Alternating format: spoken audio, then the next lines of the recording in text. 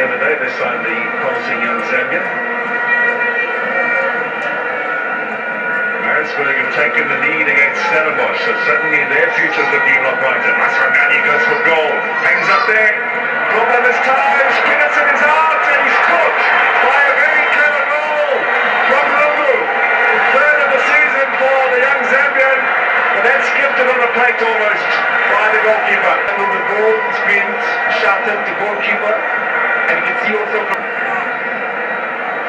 see how this all happened. The ball leaps up in the air. The goalkeeper punches it straight at Lungu, and he says, thank you very much. And you can see there also when the ball is in the air, Dolbe doesn't complete because the goalkeeper shouted the goalkeeper. And then